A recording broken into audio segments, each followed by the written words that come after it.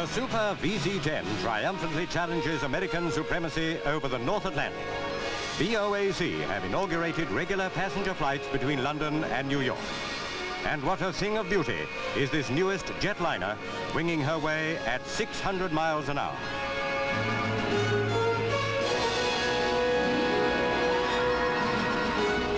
Sir Giles Guthrie, chairman of BOAC, was in the captain's seat more than 30,000 feet over the ocean on the last of three proving flights to New York.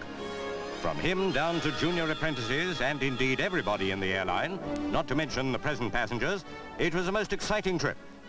To be in any capacity in at the birth of the Super VC-10 was an experience never to be forgotten. Not only the food impresses, everybody remarks the amazing quietness resulting from the rear positioning of the engines.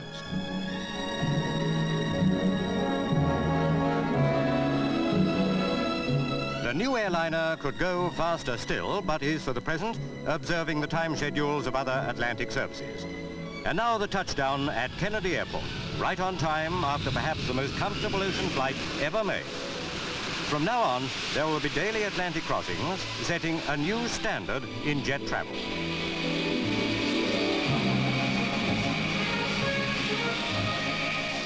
For many of the passengers, the covered telescopic exit tube was new, no more leaving a luxury plane one second and fighting a blizzard the next. Sir Giles Guthrie and other officials were warmly welcomed by their American counterparts. However experienced the traveller, custom never stales the thrill of arriving in New York.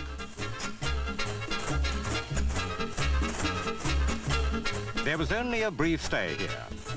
The Super VC-10 was gathering more passengers, this time influential Americans and travel agents, about to make a demonstration flight from Kennedy Airport to sample the speed and comfort of the new tram. Sir Giles Guthrie escorted them.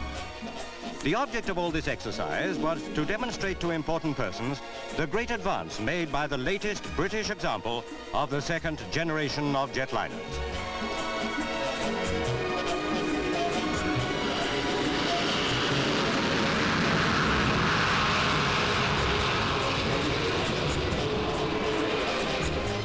Captain and first officer are already Super VC-10 enthusiasts, declaring that it's a beautiful aircraft to fly.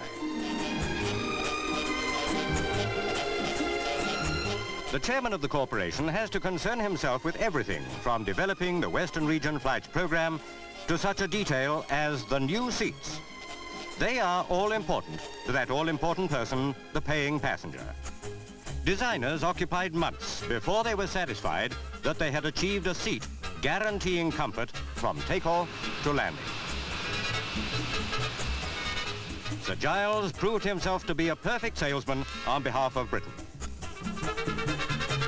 Over Boston now, cultural leader of American cities, historically famous in the struggle for independence. Main concern on the flight deck to put the jetliner down smoothly Needless to say, a perfectly accomplished landing. A similar demonstration flight was made at Washington.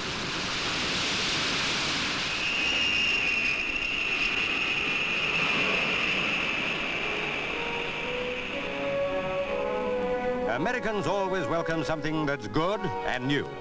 Hence the interest excited everywhere in the Super VC-10. They love success, too. So the news that BOAC have made their biggest ever profit is a bull point in selling it to the great and growing U.S. traveling public. We all have a share in the Super VC-10.